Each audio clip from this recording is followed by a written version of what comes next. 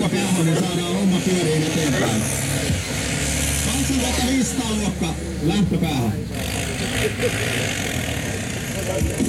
Puumala